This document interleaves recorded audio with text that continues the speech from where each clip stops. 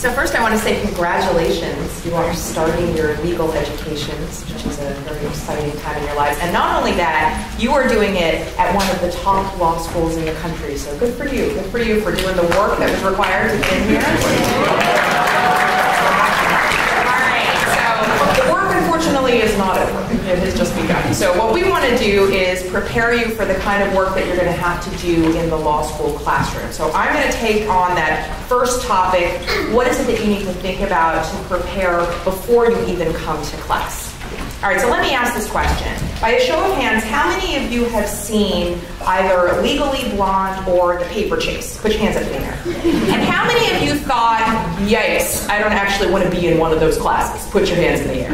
Yes? Yeah, a lot. Okay, so those movies, that's the Hollywood version of the Socratic method. So the Socratic method is the signature pedagogy of American law schools. It's that way of teaching where we ask you to read a judicial opinion, which is called a case, and then you come to class. Then the professor calls on you, and you are asked to answer questions in front of some of your classmates. So that is understandably an intimidating proposition for a lot of people. So why do we do this? Why have we been teaching this way? We've been doing this since 1870.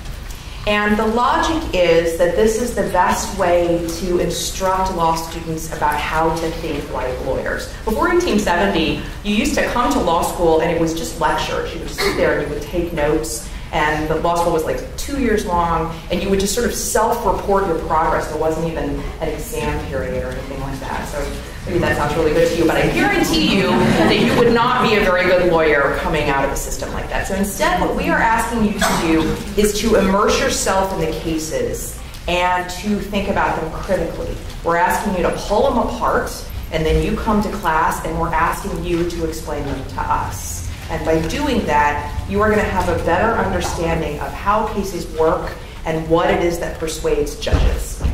The other reason that we still cling to the Socratic method is because it is a rhetorical education. It is giving you a chance to practice speaking out loud in a stressful situation.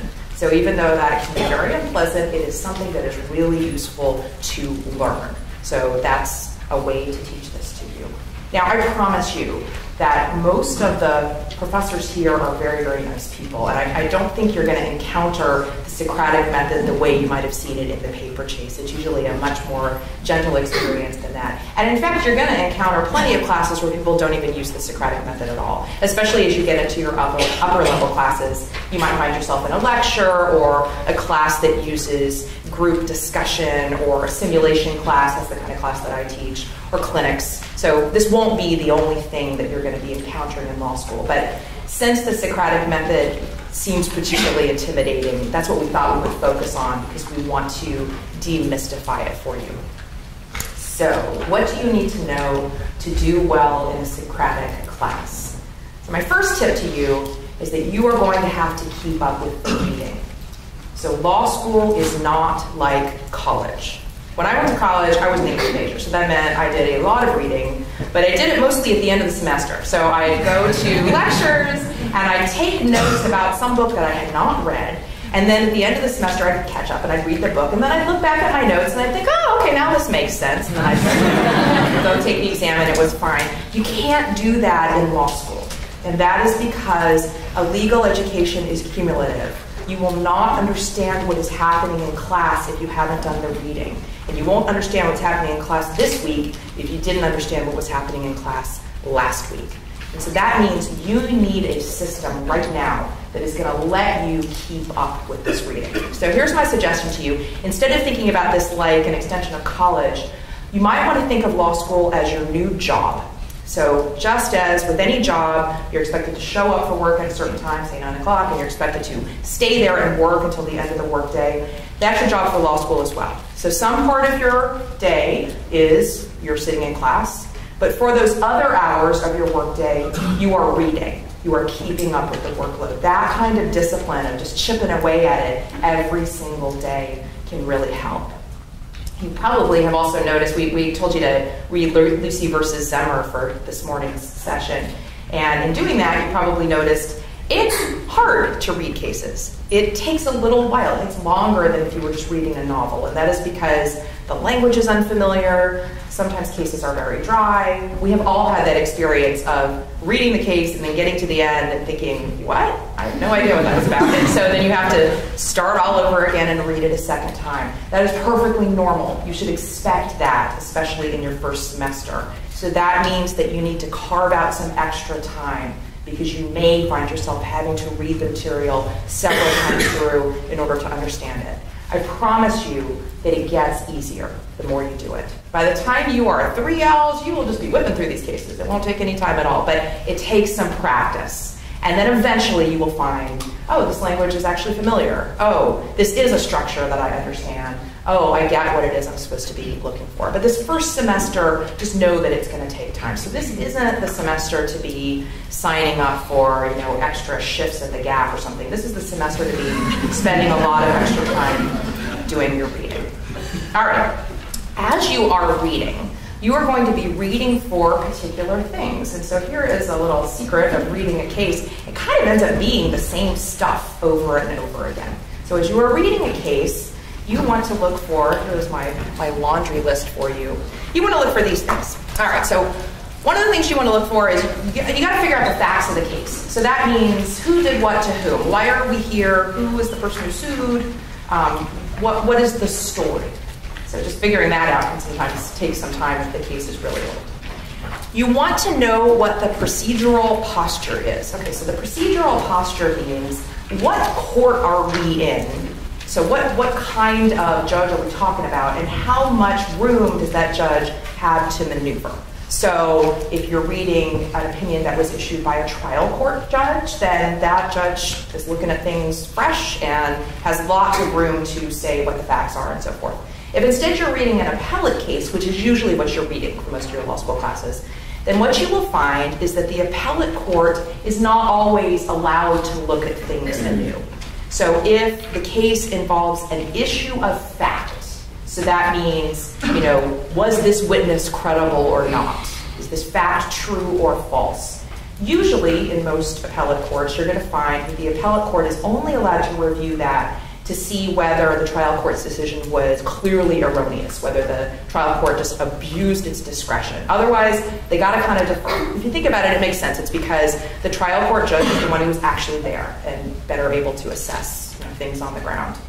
However, if the opinion that you're reading is about an issue of law, so that means an interpretation of a statute, for example, we're trying to figure out what the law means then usually the courts of appeals have more discretion. So usually you will see a paragraph that will say this is a de novo review, which means like from the beginning we're looking at this all over again, looking this anew. So the reason you're going to care about that is it lets you know kind of how much wiggle room have I got here, did the judge have to issue this opinion. So as you read cases, you eventually are going to find there's kind of a system, and you will start to look for the paragraph that tells you what the procedural posture of the case is.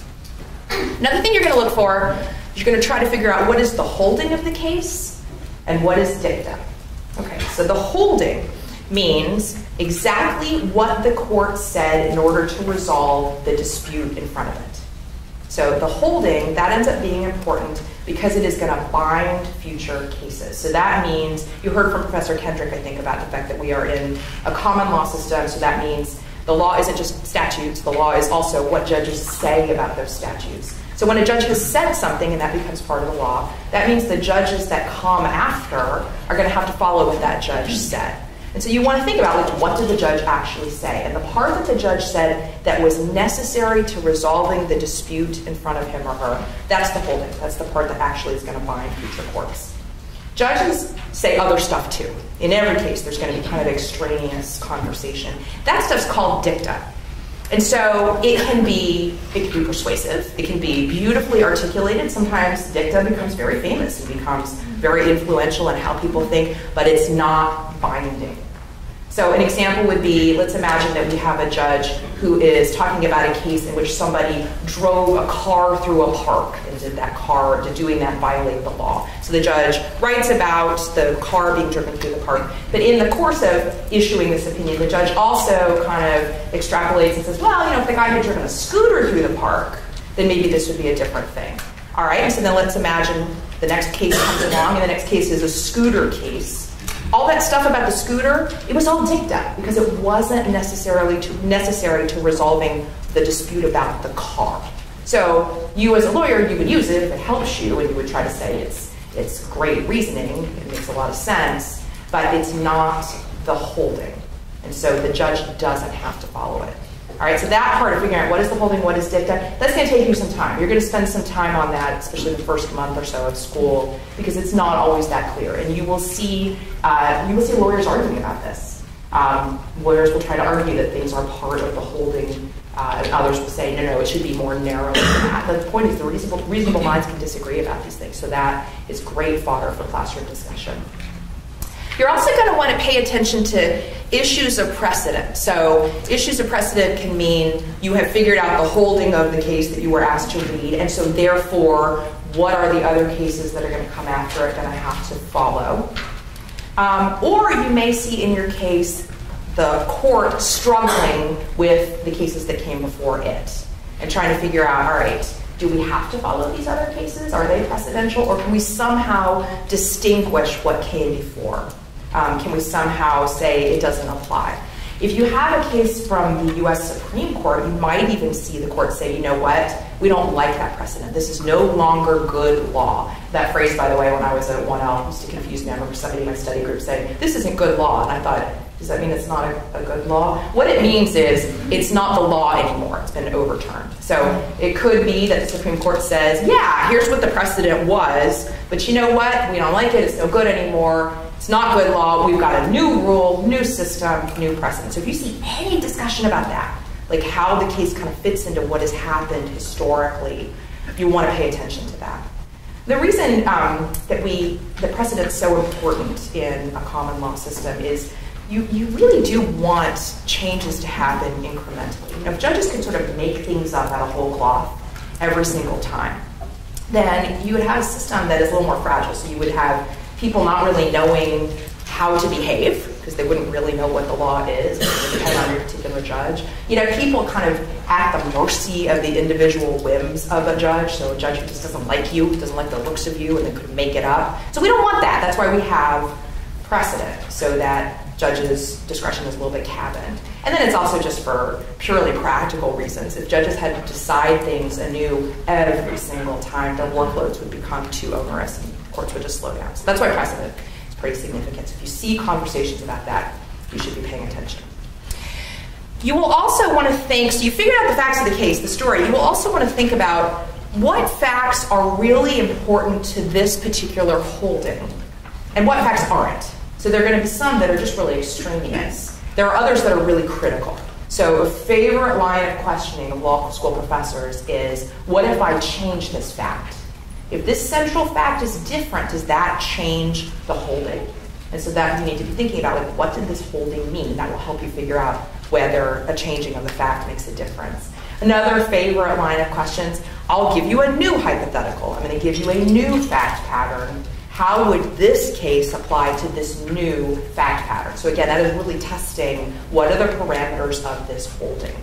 Again, for a lot of this stuff, there's not necessarily a right answer. You know, the point about being a lawyer is that you should be able to argue it different ways, and that's what you're practicing. Are you able to argue this so that you can make a persuasive case that yes, this would apply to this new fact pattern, or no, no, it wouldn't? It is smart to think about where what you're reading fits into your course overall. So it's it's uh, it's easy to kind of get mired in the weeds and just like put your head down and do the reading. And if you do that, you may miss kind of some big picture themes in your classes. So a really good habit, periodically pull out your syllabus and look at it not just to see what your next reading assignment is, look at it to see what is the framework of this class? Like where are we in this story? So sort of thinking globally about what did this individual case kind of add to my body of knowledge about contracts or torts or whatever it is that you're studying can be very helpful. Um, and you might get questions about that in class. And then finally, you will want to look for text that is important. So here's text that's important. If the court says, we are now establishing a new rule, or if they say something like, here is a three-pronged test, highlight it. That text is really important. And so those are things that the professor will ask you about, and when you're answering the questions, go to the actual language. Don't paraphrase it, read the actual language, because probably what you're going to get into is a parsing of that language. You know, what does this language mean?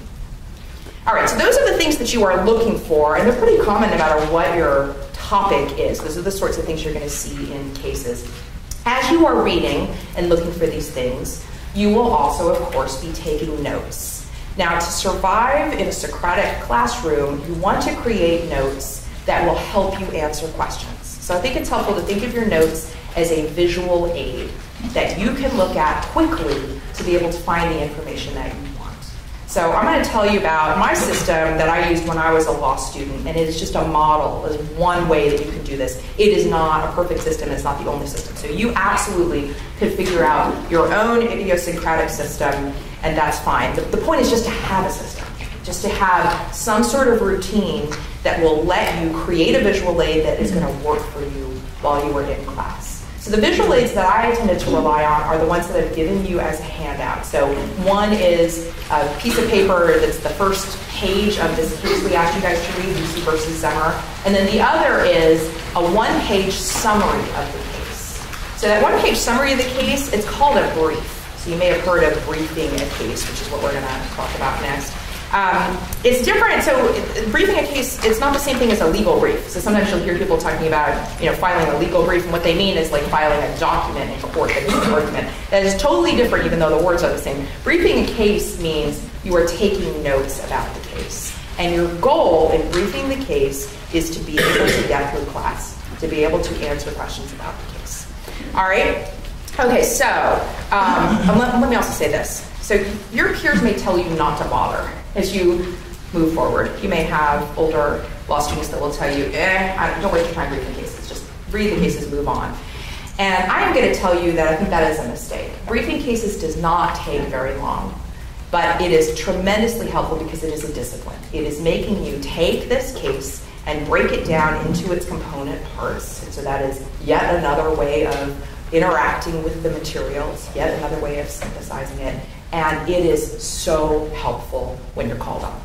When you are feeling stressed out, it's so helpful to have this document in front of you because it probably has the answers on it for you. All right, so let's talk about how this brief and these notes worked. And the case that we're going to use is Lucy versus Zehmer. So I hope you guys all read this case, but even if you didn't, you'll be able to, to follow along.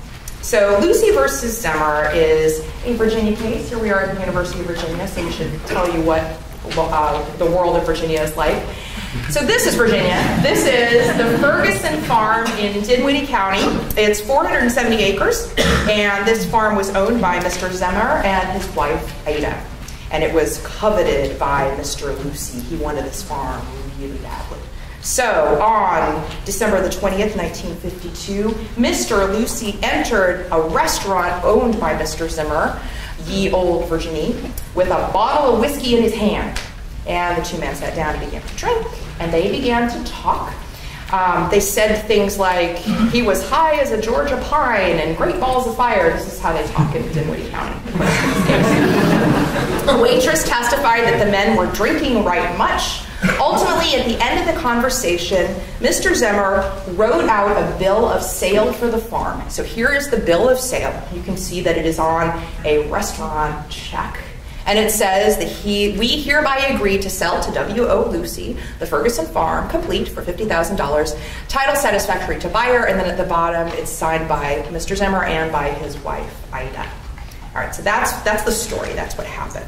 So if you take a look at the case itself, so here is the first page, which I've given you as a handout you can see this stuff is in there, but it's kind of jumbled. Like as you're reading the facts in the case, they're all mixed up. They don't have it set out in an orderly way, like here's what the consumer says, here's what Mr. Lucy says. It's all kind of mixed up. So what I was trying to do when I was reading cases is highlight things so that it would make sense for me. So here's how I would have come up with highlighting like this. I would have read this case the first time through without touching it. I wouldn't have highlighted a thing. So I would have read it through just to figure out what the heck is going on. What is the story? And the reason that I'm going to suggest that to you, don't highlight the first way through, is because otherwise you will highlight everything. And then you will end up with a case that where every single thing is underlined, and that does not help you in class. All right, so You read it through once, I got it, I got what the story is. Now you read it through again, and then you start using your highlighting to help you find the specific text that you might want. So you can see, I always would circle the defendant and the plaintiff. Oh, and by the way, people like to use little, the defendant is like a little triangle and the plaintiff is like a little pie symbol. You'll see that in people's notes. So if you want to be really official, you can use that. All right, so you, you circle their names. And then I have underlined also what is the issue in the case. So that means what is the thing that the court is being asked to resolve. And I go ahead and underline that in the casebook as well, in case the professor really cares about that specific language, in case he or she doesn't want you to paraphrase it. So I'm looking for that. And down here at the bottom, this is the paragraph that tells you the procedural posture. So this is the one that says they, they're asking for specific performance. That means the guy wants the farm. He doesn't just want his money back, he wants the actual farm. Um, and it says that there was a, it's, it's on appeal. All right, so I'm highlighting that. So the other thing I've done here though is since this is a case where the facts, there are a lot of facts, I might use multicolored highlighters to try to sort those out. So what I did here was anything that was helping Mr. Lucy, I'm highlighting in green, and anything that's helping Mr. Zehmer, I'm highlighting in yellow. And that's because the way the court's written the opinion, it's all conflated with each other. So Mr. Lucy, he's got things like Mr. Zehmer actually wrote this contract, actually took the time to write this thing. That contract's got pretty clear terms. It says we're going to give this to you, fifty thousand uh, dollars. They signed it. Both of them signed it. He got his wife to sign this contract. And then there's the fact that Mr. Lucy's been after this farm for years, so not a huge surprise that he, he's serious. He really means this. So Mr. Zehmer, that's the stuff that's in yellow, and so that's things like he thought it was a joke. They've been drinking. He uh, once he realized Mr. Lucy was serious, he said, "No, no, no, I'm I'm not selling this to you. I think we're joking. I'm not going to take the five dollars you seem to be offering me to buy this contract. No, no, no. Uh, I, I didn't think it was for real." So those things I've highlighted. Okay, so you can take this page and then you can compare it with the brief, which is the other document I've given you. So the brief, it's just taken this information and put it into a form. So this literally was a form. Yeah? Oh, no. Okay, we got, um, Sarah, do you, do you know if there are more copies of the handout? if you are missing these handouts, would you please put your hand in the air? So it looks like the, the down front folks and the folks back there. Okay, keep, keep your hand in the air. I'll just keep talking, but keep your hand in the air until you get your, your handout, and that way we'll be sure that you have it. But the handout is, is just this. It is what I'm showing you here on this slide, so you're, you're not missing any information. All right, so if you compare them side by side, though, you'll see that all I've done is I've just taken this information from this case, but now I'm putting it into a one-page form. And this literally is a form. This was the form that I used to use in law school. So the idea of having a form is it's a discipline, again. It is making you make sure that you find every single time who are the parties, what is the issue, what is the procedural posture. That just that discipline of answering those questions for yourself over and over again helps you learn how to read these cases. But then the part with the facts, those I put in order of this is for Zehmer and this is for Lucy. And the reason I might do that for a case like this is because these facts are pretty fun. This could be one where the professor would say to you, can you make the best argument that you can on behalf of Mr. Zehmer? Can you make the best argument that you can on behalf of Mr. Lucy? So having those facts sorted out can be really useful. All right, so what happened here? The court said Mr. Lucy wins, he gets the farm, uh, and it's because, you know, who can read Mr. Zehmer's mind? Mr. Lucy gets to have the farm because it seemed like it was all good, uh, and so, you know, a contrary ruling could have some bad effects, and we'll let Professor Geis get into that. But that's essentially what this brief is. Okay, so the point of this is to help you in class. This is not your outline. This is not going to be helping you. It will help you in your exams too. Going through this process will help you in exams. So right now, all you're thinking about is like, how am I getting through my classes? And then you go into class. All right, so here you are in class, and let's imagine that you are the person who has just been called on. So what do you do? So the first thing you do is you realize you got this because you did this work. You got this brief, so you, you have already thought through this case in some detail. So this is going to help. And then you take a deep breath. And I'm going to advise you to tune out your other classmates and just look at the professor. The professor is asking you questions. Ignore everybody else because that's not helping you. They're probably not feeding you the right answers. Listen to the professor And just think of it as a conversation. Most of the professors are going to try to help you. They're going to try to give you a hint about where it is you're trying to go. But a lot of these questions that you're being asked, there isn't necessarily a right answer. So really what they're asking you to do is to think. So this is your chance to practice. So that involves just taking some deep breaths and realizing you did do this work. I'm also going to suggest that you practice trying to answer with some confidence because this is a professional program. You are learning to be lawyers, and lawyers have to speak with confidence. The only way you're going to get that is to kind of fake it till you make it. So try answering the questions as if you know what you're talking about, even when you don't.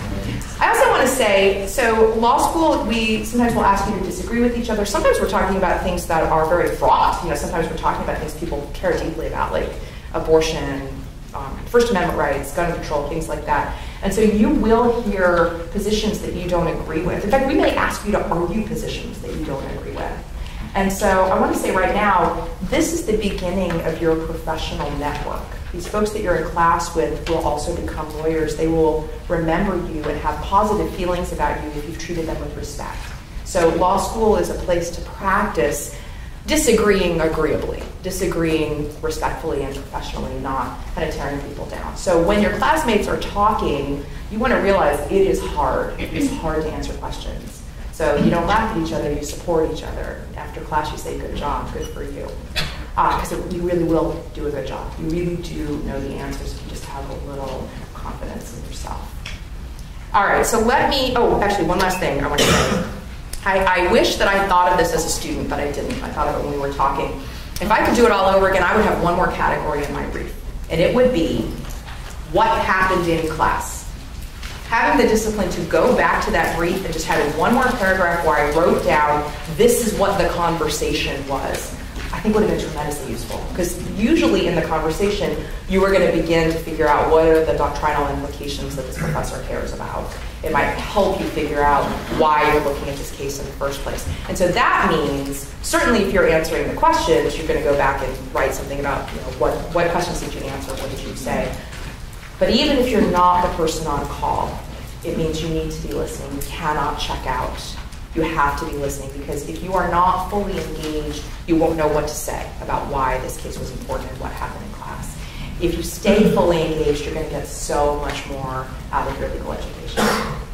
All right, I'm going to turn the floor over to Professor Geis now, who's got his own PowerPoint here.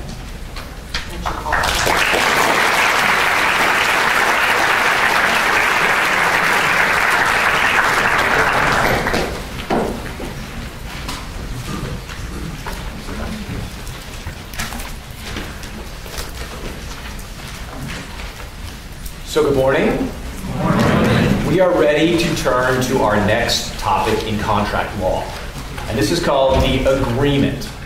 Now, remember that in order to have a legally binding contract, you have to have an agreement. We don't impose contracts on you, uh, you know, by fiat of law, but it's an agreement between two private parties typically that turns into something that's legally binding. And we can usually break down the agreement into two parts the offer and the acceptance. So, for example, you might make someone an offer I'll paint your house if you give me $1,000. And then the person you're speaking to might say, sure. And then you have your offer and acceptance, and then you have a contract. They might not say sure, they might make a counteroffer. Well, how about if I only pay you $950 instead? And then the, the conversations continue. But the important part is that we need an agreement. Now, there are some nuances, however, to the agreement process, which brings us to the critical case of Lucy versus Zehmer. So, Hannah, Donna, uh, let me set the stage for Lucy versus Zehmer. Lucy had long coveted the Ferguson farm. He had made several offers to buy the farm in the past, and these offers had always been turned down. They had not yet arrived at a deal. Late one Saturday night, Lucy drove up to Zehmer's uh, restaurant, the Old Virginie. He passed through the gas station and walked into the diner um, and decided to wait around and look for Mr. Zehmer. Can you tell us briefly what happened next? Um, well, Lucy offered about fifty thousand dollars, offered fifty thousand dollars for the Ferguson farm to Zehmer. Um, and they talked for about forty minutes, shared some drinks, and then Zehmer wrote and signed a contract on the back of a receipt detailing the transaction. He actually wrote two contracts because the first one didn't include his wife. It said, I hereby sell instead of we, so he tore it up and rewrote it. Um, he then convinced his wife to sign, um, whispering in her ear that it was a joke, Okay. uh, so Lucy couldn't hear. Um, Zehmer gave the contract to Lucy, who offered him five dollars to seal the deal, but um, Zehmer didn't accept the five dollars. Um, Lucy took the contract the next day to his brother, and then to a judge on the Monday, which was two days later. Okay, so we've got a lot of back and forth between these two parties, and I think what you said is exactly right. Lucy went in, negotiated with Zehmer for a while, and then ultimately they drafted and the Zehmers signed this, uh, this agreement or this something on the back of a bar bill um, where they agreed to, to sell the farm for $50,000. And as you said correctly, Lucy tried to pay $5 to seal the deal or bind the bargain. Um, and Zehmer at that point said, hold, hold on a second, right? We don't really have an agreement. Um, and Zehmer later went on and tried to, to, to, to, deny that there was a contract. Why does Zehmer say there wasn't a contract? Well, he says that it was a joke. Okay. That- And that he and his wife both knew it was a joke. Lucy should have known it was a joke, so it wasn't real. We were joking around, right? We were just horsing around. This wasn't a real binding commitment. And so Zehmer denies this. Um, and this means now that the entire issue of the case centers around whether we have a real offer and acceptance, whether there's really an agreement that would then give rise to a contract. Now, what does Lucy want? What is Lucy suing for?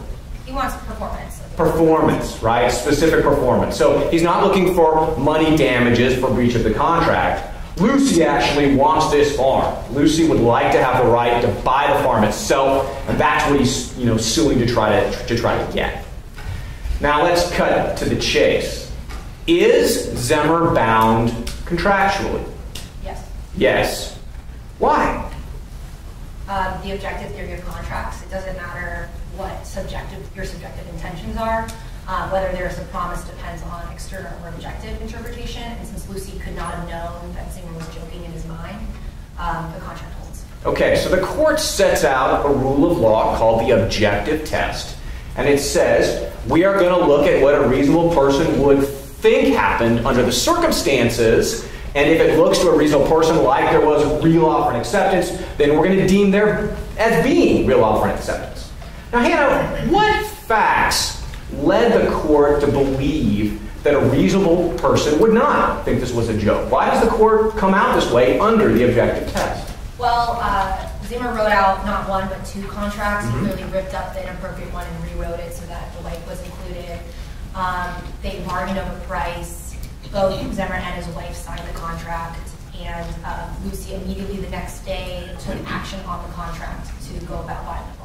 Okay, so they talked for a while, they haggled back and forth, they wrote it down. You know, we could add maybe a couple of other things. They actually thought through, I've got a copy of the contract here. I'll flip it so you can see it a little more. They thought through the title provisions, right? The title has to be satisfactory to the buyer. They had both he and his wife go back and sign it. So they, they negotiated for quite a while, and ultimately the court was convinced by a variety of things that any reasonable person would think this was a real deal, and therefore it became a real deal. Now, Alex Hayden, let me let me jump over to you. Imagine that you had the case and you were going to argue for the Zehmers. You're representing the defendants now. What sort of story would you tell? What you know? How would you describe the situation or describe what was going on in order to make out the case in the best possible light for the Zehmers? Sure. Uh, I would point to the fact that Lucy brought the whiskey with into the bar. It seems a little underhanded to bring an intoxicant when you're trying to purchase property, especially that late at night. Okay. Uh, I would also point to the fact that Lucy wanted to pay five dollars to bind the bargain. It seemed that he, and, and in addition, the amount of effort he went through to make the contract, you know, signed by the wife and perfectly, you know, titled. It seemed like he was kind of anticipating there might be problems with this later on. Okay. And then I would So also. let me stop you there. Doesn't that show that they were seriously negotiating back and forth with each other? If he actually took the time to bring the wife in? Uh, that's certainly one reading of it, but uh, I would say, looking at the objective truth, the court seems to buy more of what Lucy said he was thinking, but I think probably closer to the truth would be that Lucy was uh, understood that Zehmer wasn't fully committing to this. So what was really going on? I mean, tell it to us in common words. If it wasn't sort of a real serious negotiation, and I think that's the story you want to tell if you're representing Zehmer, what would you say was happening in the bar that night? Uh, Lucy came in with the intention of getting the, bar, uh, getting the farm at pretty much any cost and succeeded. Okay, but that sounds like a real negotiation, doesn't it? I mean, don't you want to say something a little different if you're if you're Zehmer? Basically, that he made out with a windfall of fifty thousand dollars using the influence of alcohol and. All right, so he got him drunk. He kind of, he kind of really pushed him down that way. Um, Hannah, what do you think? If you you know were were representing Zehmer, how would you describe what was happening? Um, I would say that Zehmer has several times said he's not going to sell the farm. He's told Lucy several times he Right. doesn't want to sell the farm. Um, and the fact that uh, he, after drinking for 40 minutes with Lucy, finally agreed to sell the farm. Doesn't sh- Lucy should have known that he was drunk. Should have known he would never sell the farm based on his past. based on past interactions. Well, can't we joke about selling something for years and years and years and eventually strike a real deal, nevertheless, especially if the price keeps getting raised? We can, but the way that, that Zehmer and Lucy interacted showed that it itself was a joke. Oh, I bet you won't sell this for fifty thousand dollars. Oh, I bet you can't find fifty thousand dollars. I mean, it seemed like a joke the way that they were. All right, so maybe, you know, and I think this gets into a line of reasoning that you'd want to push if you were Zehmer. You'd probably say, yeah, I mean, first, you know, you, you clearly would raise the intoxication argument, right? I mean, I think that's one that you want to you want, you want to try to press on. But there's another, you know, way to explain, I think, what's going on here, which is, look, this was just Lucy's sort of needling, or you know, Zehmer Lucy, needling Lucy to say, I don't think you have the money, right? And trying to kind of press him and tease him and, and, and go on and on, trying to, you know, see if he could just make him cave in the context of, you know, a lot of drinking. So, Alex, I think that might be another line of reasoning that you would want to that you would want to pursue. Um, Hannah, imagine that you were the judge, and this case came to you. How would you decide? I would decide for Lucy. For Lucy, how come?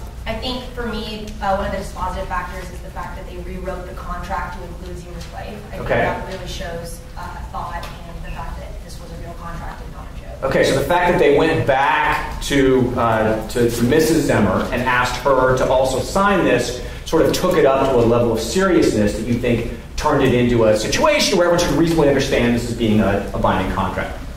Now, I want to read you a passage from, uh, from the case related to that. Um, one of the things that happened was that uh, Mr. Zehmer went over at that moment in time to try to get his wife to sign it. Um, you know, and, and they were talking through. You know, Zehmer uh, came back to where she was standing and said, "You want to put your name to this?" She said, "No," but he said in an undertone, "It's nothing but a joke," and she signed it. Now, if Lucy heard that, would that change the outcome of the case? Uh, yes, because then your, the outward intention would be known. It would no longer be subjective intent of the jailer. So then, all of a sudden, right, that might really change the case because if Lucy overheard Zehmer telling his wife, oh, this is nothing but a joke, it wouldn't be reasonable anymore for Lucy to think that this was still a real serious negotiation. So, did Lucy overhear Mr. Zehmer say that to his wife? Uh, I allegedly know. Allegedly, no. we know more than that. The case actually tells us, if you go a little bit further on, um, and this is you know closer to the end of the case, both of the Zehmers testified that when Zehmer asked his wife to sign, he whispered that it was a joke, so Lucy wouldn't hear, and that it was not intended that, sh- that he should hear. I think that's a pretty pivotal part of the case because I think you're right that if they'd said it louder so that Lucy actually heard, well, this is just a joke, you know, honey, why don't you sign it? Then I think that there might be, you know, might be a different outcome to the case. But that's that's not what happened, and so you know, maybe under the objective standard, we should, you know, find there as being a legally binding contract. Alex, me come back to you. Let's talk a little bit about this result. This result. One of two or maybe three things is really happening here. There's, there's one of you know two or three things that are, that are going on. First thing that might be going on is that Zehmer might be lying after the fact to try to get out of a deal that was really struck. Maybe there was a real contract that was struck, and now Zehmer is sort of lying after the fact and saying, "Well, I was just, you know, I was just joking. I was just joshing. I, I didn't really, really mean it." Um, second thing that might have been going on is that Zehmer was really, really joking at that time during, during the negotiations. And in his mind, he was thinking, you know, there's no real serious way that I'm meaning to sell the farm. And that might have really been what's happening. And, and, and Lucy just sort of didn't understand that. Do we care which of those two circumstances were taking place? Uh, in a general sense, probably not. I mean, a lot of contract cases are simply setting the standard rules that future parties can understand, you know, oh, if the rule is you're joking, you have to make sure they're not joking when you make a contract later, or it's if you're joking, you have to make it very clear that you're joking because that's it. So for future parties, now obviously these parties, yes. So you're telling me that if we were to somehow look down from above and figure out what really happened, it's possible that Lucy really was, in his mind, joking and meaning to joke. Sorry, Zehmer really was meaning to joke at the time, and we still don't even care. For as a matter of law. There's definitely an argument that can be made that it doesn't matter. That you're simply creating a rule that we're going to use this objective theory, and going forward, it's right.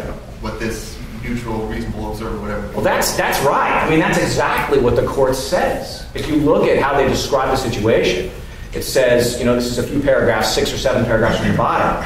Whether the writing signed by the defendants and now sought to be enforced by the complainants was the result of a serious offer by Lucy and a serious acceptance by the defendants, or was a serious offer by Lucy and an acceptance in secret jest by the defendants, in either event, it constituted a binding contract of sale between the parties. Well, what kind of a crazy rule is this?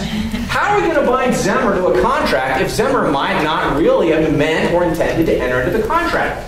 Why don't we instead prefer a subjective test? Where we say, look, in order to have a contract, you have to have the intent to make an agreement, and therefore we're going to ask whether both parties subjectively actually had the intent to enter into the agreement. And if they did, then there's a contract, and if they didn't, there's not a contract.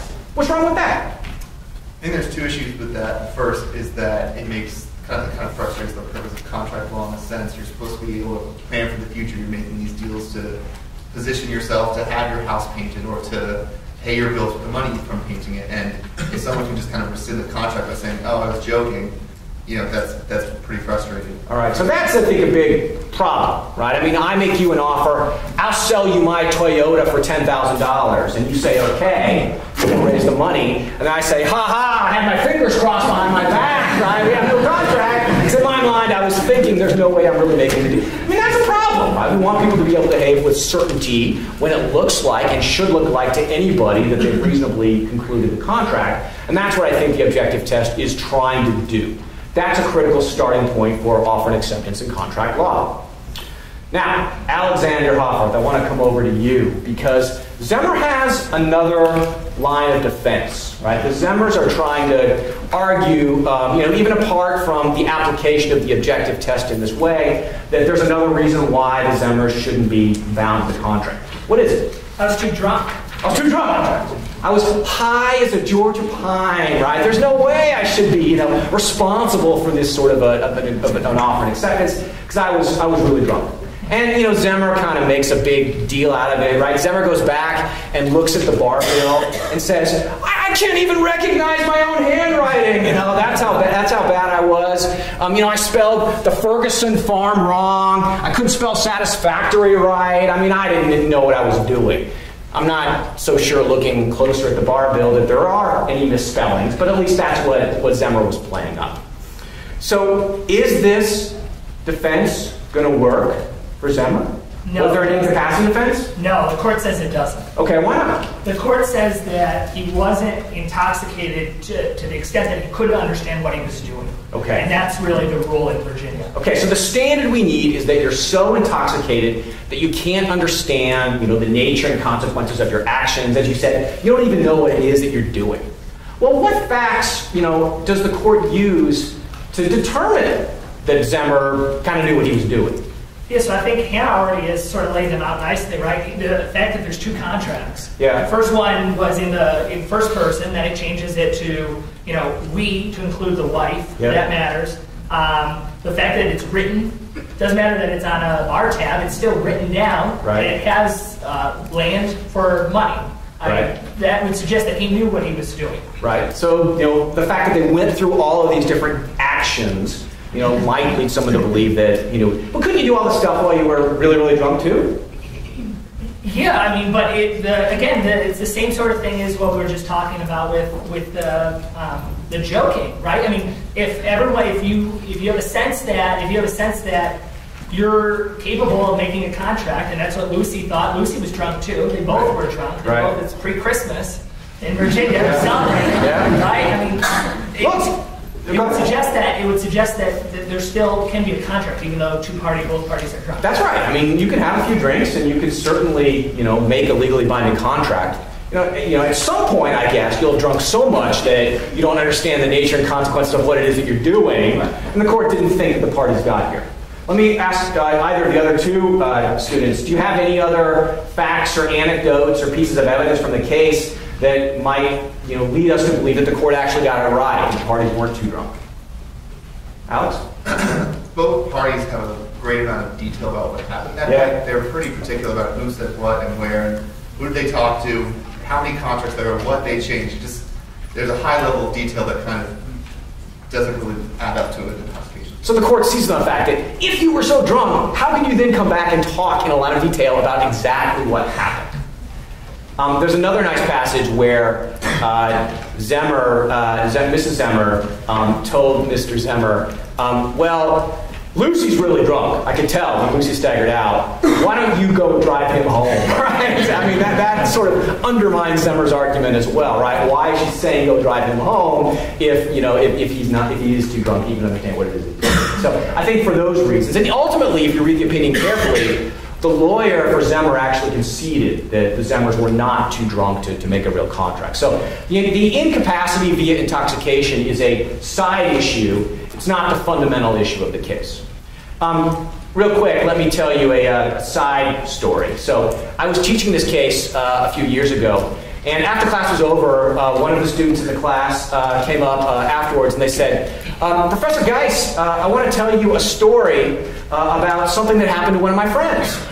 And uh, my eyes got big because I know that a good story is going to come out, right? As it's sort of positioned that way. And they said, well, one of my friends was staying up one night, having some drinks, and surfing the internet on, on eBay. And I said, okay, I didn't know that was a thing, but. Um, um, and the next morning he woke up and he received an email in his inbox saying, Congratulations, your bid for $48,000 for the Mercedes is the winning bid.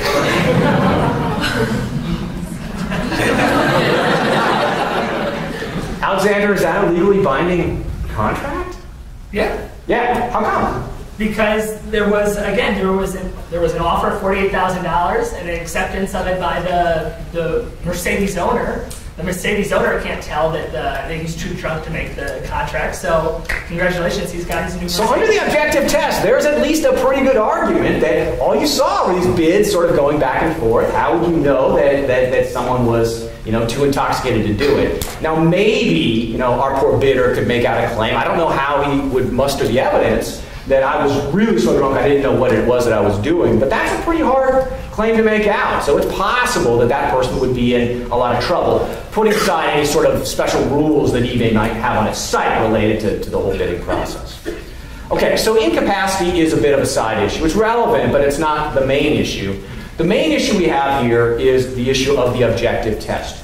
We are going to look at, you know, what it is that the parties say and do, and we're going to, you know, essentially impart a reasonable interpretation. We're going to divine objective truth, what any reasonable person would think that means on the basis of the surrounding facts.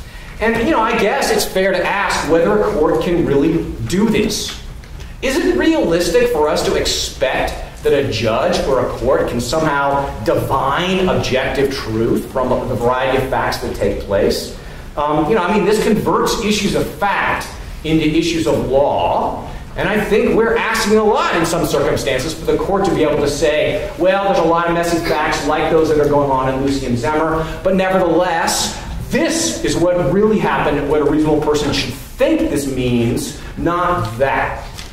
And really, you know, you, the, the way that you think about this objective standard can, in some ways, come down to your different um, theories of, of, of judicial reasoning and what the purpose of the law is. And so I want to, you know, kind of quickly summarize this case just by introducing two alternative theories of uh, judicial philosophy. Um, the first theory is more of a realist theory or a relativist theory. I think it's nicely summed up by a quote um, from Corbin, who's a famous contract scholar. Um, here's what Corbin would say A sufficient reason for comparative historical studies of cases in great number is the fact that such study frees the teacher and the lawyer and the judge from the illusion of certainty and from the delusion that law is absolute and eternal.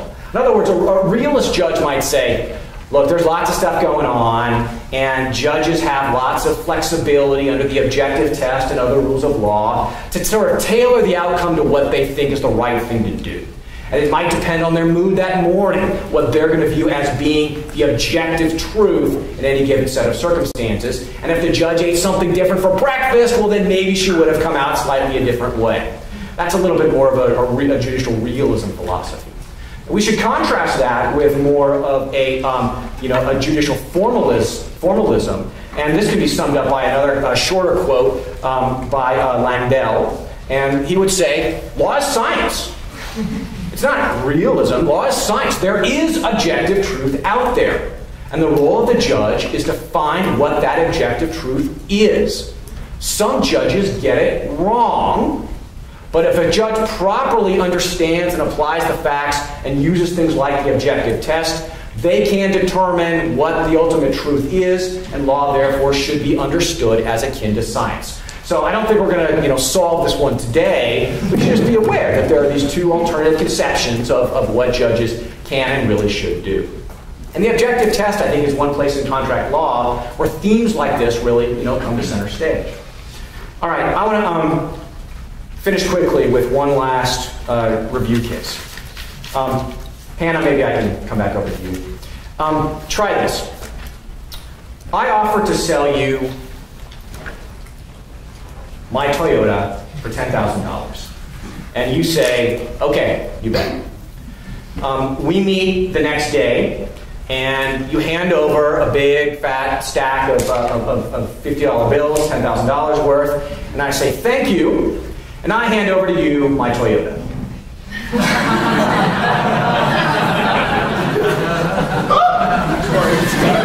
Are you legally obligated to take this action figure under the objective test? Can I do that? Um, I would argue no. Um, Why not? How do we know that? well, I would say that um, a reasonable person would assume that when you say Toyota, you're implying your car and not your figure. Yeah.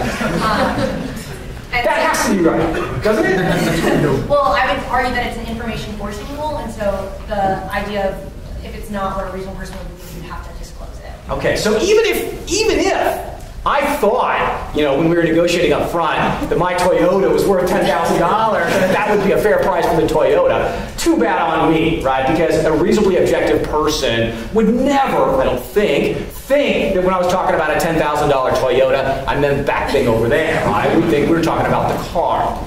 Now that, I hope for all of us, is a relatively easy one, but it's an application of the objective test. And I want you all to, to finish by just thinking, how do we know that?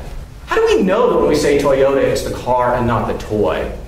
And do we really expect that courts can do that same type of analysis, however we know that, in the much more complicated sets of facts and circumstances and context that usually arise in any contract dispute? All right, that's enough for today. We'll pick it up with, uh, tomorrow with our next case.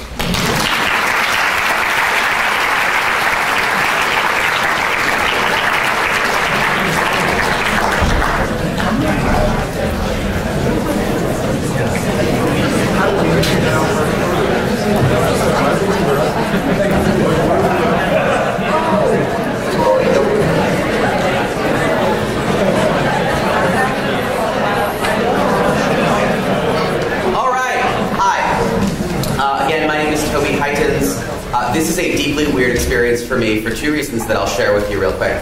Uh, one is it just occurred to me that I was sitting in this room on my first day of law school uh, a long time ago. Uh, so this is real weird. The realization that I was sit- the room was not this nice then. Um, so you're welcome.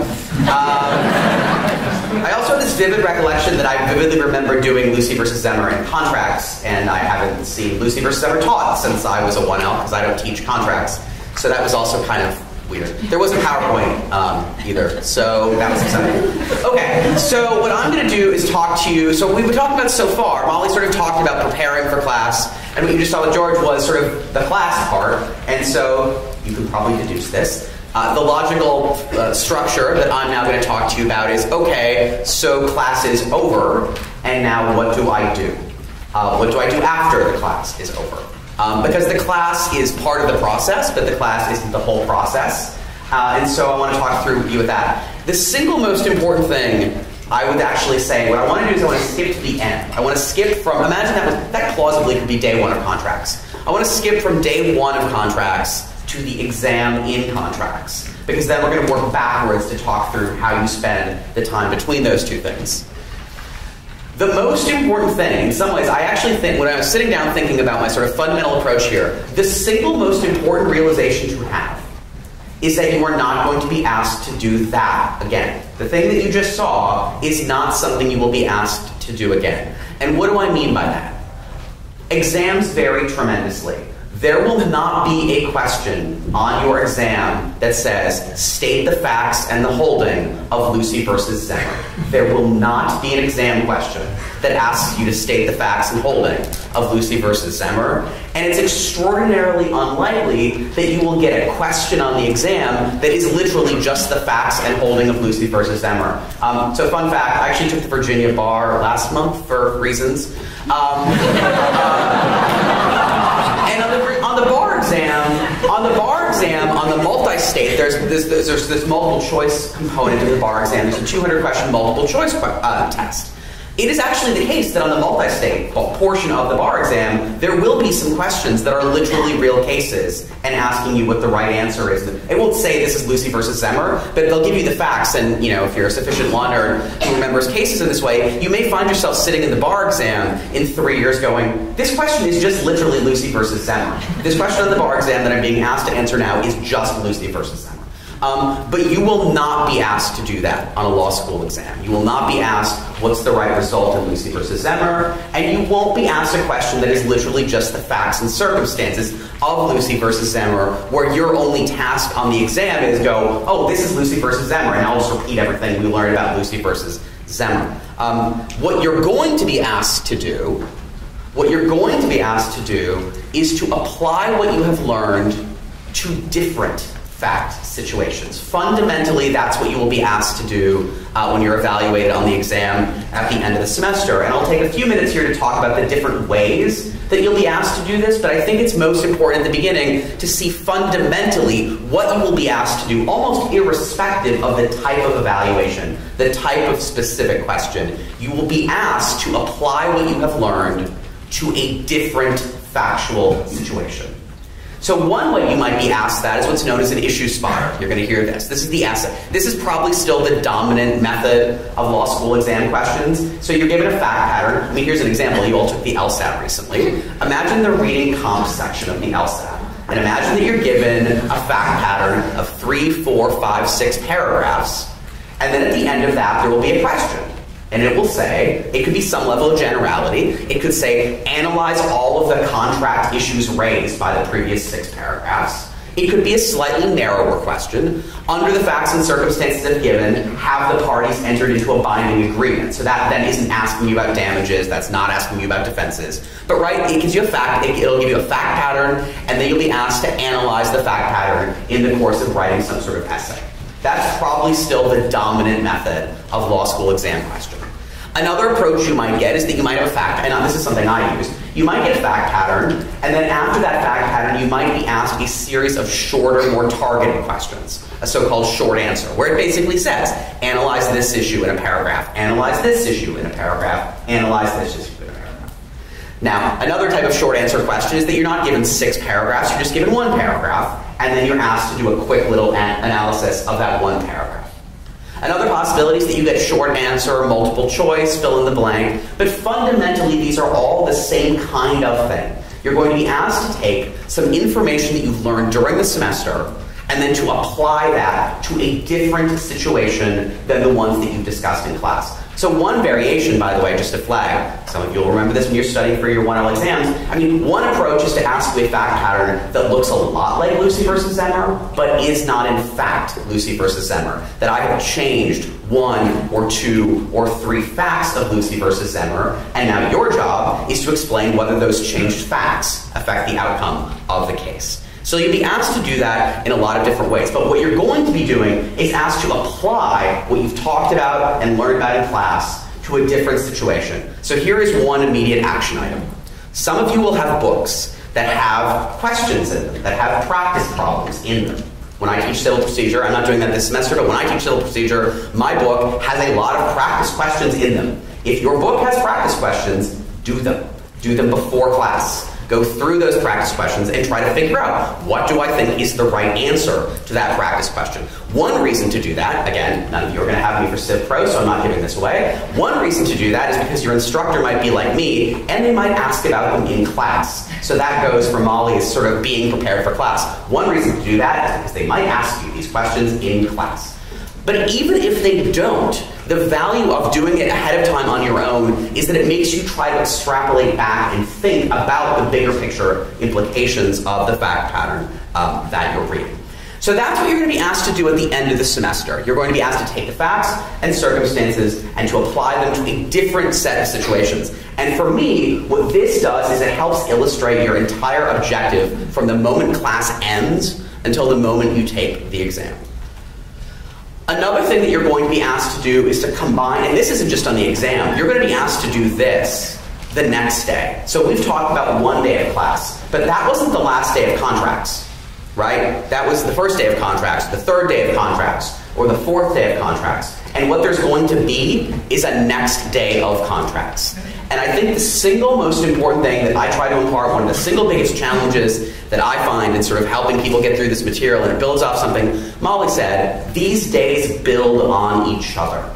Every single day, to one degree or another, builds on every single day that came before. And one of the sort of biggest challenges I have, and one of the things I encourage you to be constantly trying to figure out how to do, is to realize today is not an island. Today is connected to yesterday, and today is connected to tomorrow. And so when you're taught, when you're preparing for and reading the material for tomorrow, you should also be asking yourself, not just trying to understand this material, but how does this material connect the material we've already done? And it's not even necessarily linear. Again, I'll use the example of the course I'm most familiar with. So people who had Alexander had civil procedure with me, so he can attest to this. There's some material that we do at the very beginning of the semester, and then we come back to in a gigantic way at the end of the semester. And the last four or five days of class draw incredibly heavily on material from the very beginning of the semester. And that's just because that's how a lot of legal topics are. They're integrated. There is no beginning, middle, and end. They're all they're all sort of a web of material, and so you can't really understand part of the web without understanding the other parts of the web. Um, so I think that's just something mentally to be thinking about, to be asking yourself of the act of reading, active learning, how does this relate to what we've done? So that's that's the objective. Now I want to talk you through three ideas about how you go about doing this. One, this builds off something Molly said at the end, at which I endorse uh, firmly. Um, you need to promptly, and this is actually vitally important, you need, in order to do as well as you possibly can, you need to promptly review and revise your notes post class. Um, ideally, ideally it is the same day. Um, but I think in order for you to get the full benefit of this, it is no later than the end of the week. Um, so one possibility is your schedules are all going to be different. Some you might have a day of, that you have three or four long classes. You will not. I, you will not have time to do that on days that you have three or four long classes. But what you will have, I mean, if you have those days, you'll also have days that you have fewer classes. Right? There will be some days you have more classes. Some days you have fewer classes. You'll also have these weekends. Um, but I think ideally, in order to really get the benefits of this, this is something that you need to do on a regular, recurring basis, not more than a week after the class. I mean, one approach that I've, I've heard people using to success is every weekend you just sort of go back and you review the previous week, and you sort of try to integrate everything that happened the previous week. Um, let's talk about what you're doing. So the first thing I think you're going to want to do is you're going to want to find some way of integrating what happened in class to the notes that you took before class. And I'll tell you, as a 1L, I experimented with a variety of different ways of doing this. Uh, you need to figure out what way works for you. But so you're going to have the material you wrote before class. You're going to have the material you wrote during class. And you want to put those two things together. And when I say put those two things together, I mean really two things. One, there's going to be material from class that wasn't in your pre-class notes. This is the sort of what we learn after the class material. Um, you want to pay attention to that stuff. I mean, I think one of the things about both doing well in the exam, but also just learning the material, is picking up on the stuff that your professor seems to think is important or mentions or emphasizes, right? Think back about class. Look at your notes for class, think back about class. What did we really dwell on? What did we spend a lot of time on? In particular, what did we dwell on and spend time on that either wasn't in the reading or was emphasized much more in class than was my impression of it from the reading? Do you know what that is? That is a signal that that is something your professor thinks is important. And your professor is the person who writes the exam. And your professor is the person who will be deciding what questions to ask, ask in class tomorrow, and the next day, and the next day. And they're basically telling you, I think this material is important. You should pay attention to figuring out what they think um, is important. Relatedly, you should start removing things that were in your notes that, with the benefit of hindsight, don't seem like they were all that important. This is going to take a lot longer at the beginning. You will get, you will in, in four months' time, you will look back and you will think how much better you are at this after four months, and after a year, it's unbelievable. But one of the things you're going to be doing, sort of going through this process for the first time, it's a process of figuring out what is important and what isn't important. So I promise that your first sets of notes will have a lot of material that you will go back and look upon post class and you go, you know, as it turns out, that wasn't very important. As it turns out, I wrote down a bunch of things in my pre-class notes that literally never came up in class, and now with my understanding of what happened in class, that material wasn't super important as it turns out. You should take that material out of your notes. Once you've decided that it's not important, take it out of your notes. The goal here, we're going to talk about outlining in a way, but for me, outlining is sort of a process. It's not an outcome. And part of the process, it is, there's no contest. It is not a contest to have the longest outline possible. You're not going to get a grade on your outline. There's no A for effort in how long your outline is. I actually think when, when I talk about notes and pre- preparation material and things like outlines, how long should it be? It should be not one word longer than it absolutely has to be. Right?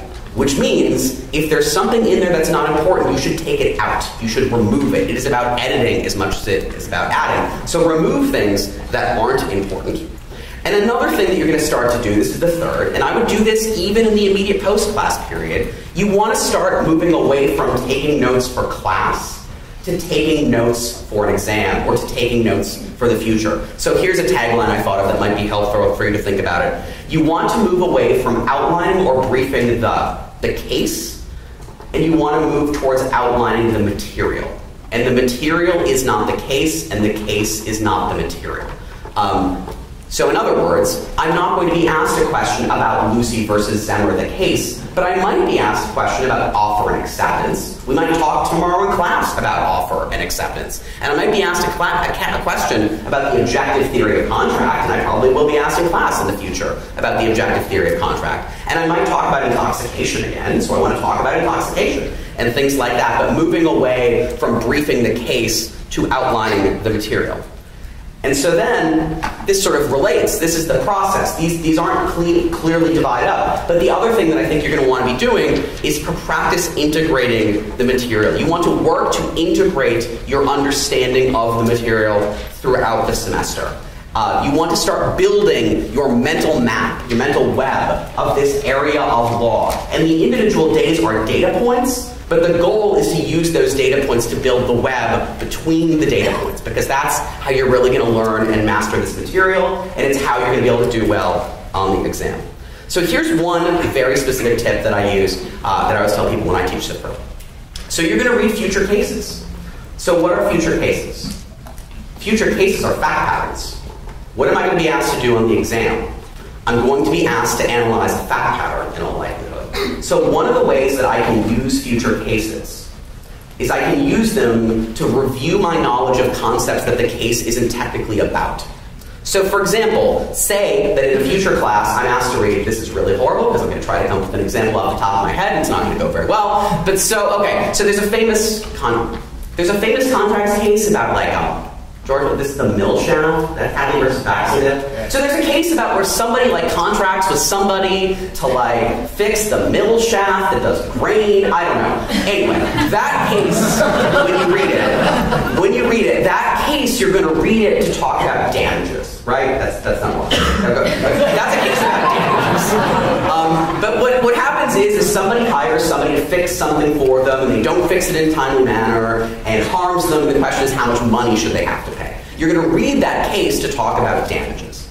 But when you read that case, there's no reason that you can't use it to review Lucy versus Zehmer. Which is to say, everybody in this case is assuming in Hadley that there is a valid contract between the parties, and the only question is how much they have to pay. Okay, stop. Why am I sure of that? Let's just go through it. Everybody assumes there is a valid agreement. Why is everybody sure there's a valid agreement? What does a valid agreement require? It requires offer.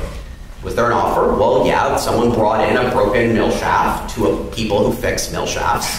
Um, and was there acceptance? Yes, people who are in the business of fixing mill shafts took the broken mill shaft and said they'd fix it. Does that sound like an exchange of an offer and acceptance that an objective person would think intends to form? Yes, it does. But notice what I've done there. In the course of reading that, that case, that fact pattern, I've used it to review my understanding of offer and acceptance from a previous class. And I think the discipline of doing that is actually really valuable, both because it'll help you reinforce the material that you already know, and it will force you to start approaching the case the way you would approach a question on the exam. Because imagine I was given the facts of that case as a question on an exam. I would then have to go, was there offer? Was there acceptance? Yes, yes, all of those things. So that's one really concrete thing. Use the future fact patterns that your book is going to provide you as a way to integrate and incorporate your understanding of the previous materials. A related thing when it t- comes to your notes, um, and this is sort of the process of outlining. This is how your notes from a specific day become your notes from a week, become your notes from two weeks, become your notes from a month, become something that people will call an outline. Um, you're going to hear a lot about outlining. But this is my sort of fundamental take that fundamentally what you want to do is to build your knowledge of the entire course. And the way you do it is you start with a day, and one day combines into two days, and two days combines into three days, and three days combines into a week. And before you know it, ta da, you have an outline. Um, so one of the ways I would try to do it is I would start, and I would encourage you sooner rather than later. Don't think about it as an outline. Don't think about that the goal is to create some gigantic document. That think about how do I combine my notes from the last two days. And if you want to start small, look, use your syllabus. Your syllabus might say we're going to spend three days on offer and acceptance. Okay? Your syllabus might say we're going to spend three days on contracts and offer and acceptance.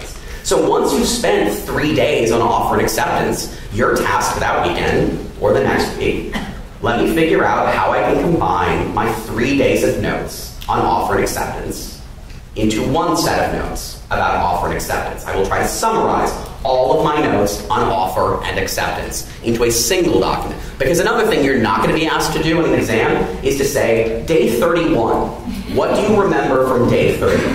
That is not how an exam question is going to be working, right? And so start combining them. And a couple things I would encourage you to do when you start to do that.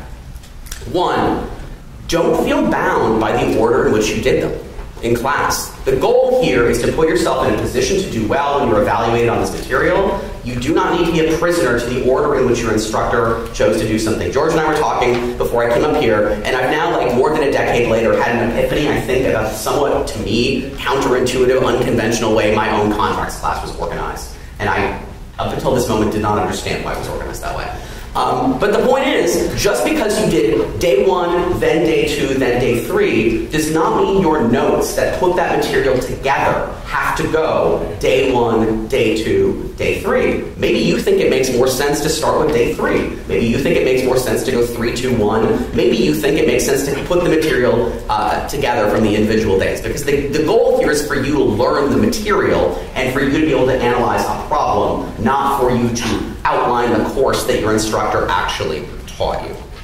Another thing you need to do is don't feel the need to include everything. It turns out that in the grand scheme of things, not all of this material is super relevant or super important or super germane going forward.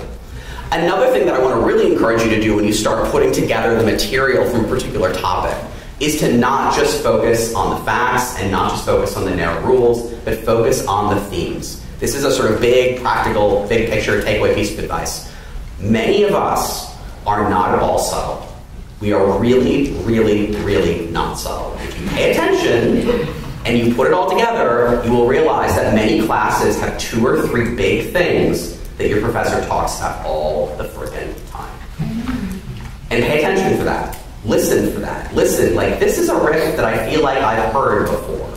Or this is a type of question that people have heard before. Um, you know, one of the things that I do when I teach civil procedure is I always ask a sort of big picture theme question at the end on the exam, and I change it every single semester. But one of the things I've always said, and no one has ever come by to disagree with me after the fact, is saying this is the question that if you've been paying attention to our class discussion for this entire semester, you should not find this question remotely surprising. Alexander, can you, can you test? Yes, good. These are all questions that we've talked about during this semester. We've talked about a lot, and not like one day for half an hour. We've talked a lot about them. So when you're outlining the material, when you're outlining the offer and acceptance material, just to continue with that example, pay attention to the big picture themes that were being talked about in that section of the class and include those in your notes. Okay. This is another one because this is an integrated, iterative process, I really, really, really want to encourage you to ask for help sooner rather than later. Because for me, your learning and absorbing of this material is a continuous, or should be ideally, a continuous process throughout the semester. That means that if you're stuck, the time to ask for help is sooner rather than later. What you should not be doing, I'll tell you what you should not be doing, and then we'll talk about what you should be doing um, do not spend the entire semester compiling a list of 50 questions that you will go by your professor's office and ask two days before the exam. That is too late. It is too late to compile a list of 50 questions that you will go by and ask one after another, right? The time to ask them. Now, that doesn't mean you should exercise some self I definitely agree with the sense this is a professional environment, and one of the things you need to be doing is thinking about and modeling professional behavior. So there, there is in fact something, um, I'll put this way. Is there asking, is there such a thing as asking too many questions too often? Yes, yes there is. Um, but I will say, as a person, this is sort of year eight for me doing this, descriptively, descriptively, you know, number of people who make that mistake versus number of people who ask too few questions or ask them too. The ratio is so incredibly skewed in this direction, it is difficult to comprehend right? The overwhelming majority of people that I have taught uh, in how I've been here come nowhere close to this problem. And a huge, huge, huge number of people are over on this side of it. Ask questions, ask them sooner rather than later. I will say, here is the social contract between you and the professor. Before you ask a question, you should spend some time trying to figure out if you can figure it out yourself, right? That's just the decent thing to do spends. So I've, I've, I've, never actually said this to someone, and so since I'm not teaching in this fall, I won't say that to many of you. Um, the most frustrating uh, thing that I've never actually said, but would occasionally like to have said to someone, is that's fascinating because the precise question that you're asking me is answered in the reading. Like literally, and I don't mean a reply, I mean literally the answer to that question is contained in the reading. Um, I've never pointed that out to the person. I've usually just smiled and answered the question. But please do make sure before you ask your professor a question that the answer to that question is not contained in the reading. Um, and spend a little time thinking about it because actually one of the one of the things that's really useful in terms of having the professional interactions that you're going to want to start having is to say, I think this question is difficult. Here's why I think it's difficult. I thought that the answer might be X But I don't think the answer can be X because the problem with X is Y. And so now I'm really not sure. I love getting those questions. Like, those questions are thoughtful questions, they're interesting questions. The person has made some effort to figure out what the answer might be, and they're stuck. That's great. That's not only not being a burden or a problem, that's perfect. That's modeling the kind of behavior that you want to do. And you want to ask those questions sooner rather than later. All of us have office hours. One of the things that's most special about this place, I think you're going to find this almost immediately, people are around and people want to talk to you and people want to help you. Take advantage of that. Do that, do that, do that. Um, I guess I will say one thing on that before I, I pivot to the very last thing. I have noticed in my own classes, all of you come from very different backgrounds, right? So I went to a small liberal arts college. The largest class I had in college uh, was substantially smaller than the number of people in this room. I think there was 80 people. I think the next biggest class I had as an undergrad was about 45, and most of them were under 20. Um, and so as a result, like I didn't find the idea of talking to professors and asking them questions to be weird because I had spent four years in college doing that. Um, some of you have come from very different academic environments, different academic environments where you're used to having classes with this many people or more people, where you're having TAs, where your interactions with, are with TAs rather than professors. Um, I just want to encourage you, legitimately, seriously, absolutely, take advantage of the fact that you have three years here where you have the opportunity to ask questions of lots of really interesting people with really interesting backgrounds who really want to help you, but we can't help you if you don't take advantage of it. So please, please, please, absolutely do that and do it sooner rather than later. So the takeaways here, anyone who's had class with me knows I always have takeaways. These are the three. If you remember nothing else that I've said over the last 25 minutes, the single most important thing is that no day is an island. I want you to repeat this mantra to yourself throughout the semester. No day is an island. No day is an island. No day is an island. The goal is to, as quickly as possible, start thinking about these things um, in integrated units, and you want to start practicing integrating that material, and you want to start practicing integrating that material sooner rather than later. Because integrating and applying the material is not only what you'll be asked to do in an exam, it is, and that's important, of course, but it's what you'll be asked to do as a lawyer. This is what lawyers will do. No one will come by your office and say, hey, what do you think about Lucy versus Zehmer? Someone's going to come into your office and say, hey, I have a case I'm working on, and let me describe it to you. What do you think about it? And what do you think are the hard issues? And what do you think are the interesting issues? And what other facts do you want to know before you tell me what you think the answer to this problem is? That's what lawyers do. That's what you are going to be ultimately training to do, um, and sooner than you think. And the third is to ask for help and to ask for help sooner. Don't put it off. It's going to be difficult. There are going to be times that are difficult. One of the things I often say to people is the most terrifying words that someone has ever said to me as a 1L is, It's going really well. I think I basically understand everything. if you find yourself saying that, like a month into law school, that's, that is not a good sign. That is a bad sign. Because a lot of this stuff is really hard, and if you're thinking about it and you're wrestling with it and you're grappling with it, you will find some of it hard. If you don't find it hard, I worry that that is because you're not digging into it enough. So don't panic when you find it difficult. Um, I will tell you all. Um, I will tell. I'm sure I will teach some of you something over law school. Um, I have a terrifying story about how a week before my Civ Pro exam, my two closest friends, my first semester of law school, I told them that there was a concept I needed them to explain to me. And when I said I need you to explain it to me, I don't mean I need like some specific thing explained to me. I need you to start over what this uh, in particular irony is still procedure, which is the class I teach now. Um, it's, it's like a topic that you will spend like three weeks on in Civ Pro. And I said to these friends, I need you to explain this entire topic to me from the beginning because I don't understand anything about it. So you're going to do great. Uh, and we're going to answer some questions now, so thanks.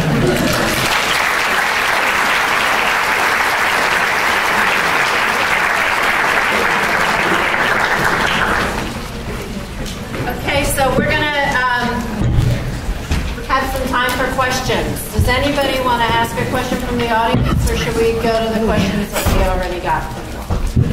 Any questions? Hey, Sarah, can we turn the PowerPoint off? Yes. Uh, for those of you uh, who are facing us, there is a blinding light shining you. directly at us. fun, isn't it? No, it's not. It's like the sun. It's that Do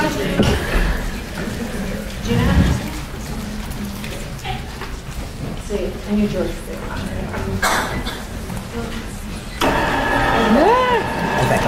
course, now we won't be able to get back on for later. Um, We also, we have the three students here as well, and they haven't left, so you can ask them questions too. They are all second and third year, well, one's a JD MBA, so he's kind of a second-ish, third year-ish. And uh, the other two are third years, so um, they weren't first years, they, they actually have been doing this for a little bit. So you can also uh, direct some questions to them. Okay, so um, I'll, I'll just go through some of the questions that we had. So I'm trying to read my cases. It's taking me forever. How long should this be taking me to do? Forever. it's just going to take a while at the beginning. I don't think these mics are working, so we're just going to holler. It's just going to take a while. Uh, it, it really, I mean, I remember the first few weeks of law school for me, I had to read everything, you know, at least three times just to understand what in the heck was going on. Um, but it gets faster as, as you go on you know, you can. There are these commercial outlines out there. I, I'm not going to recommend that you use them in place of doing your own work because you shouldn't. You need to slog through the material yourself. But if you're really you're reading a case and you feel like I just I just don't even know what to look at. Um, sometimes that can be a helpful thing to go buy a commercial outline, read their like paragraph summary, and then try to read the case and see, okay, now I get what it was I was supposed to be looking for. I might use I might use a project like that in that way. I would not use it in place of actually reading the cases. I would not use it in place of creating your own briefs and, and then ultimately creating your own outline for the class. But that can sometimes help speed up the, the reading process. So what do I do when I find a dissenting opinion or a concurring opinion? Do I have to really pay attention to those? Yeah, I mean, I think those are usually a tip off that there's a fissure in the case that's worth paying attention to.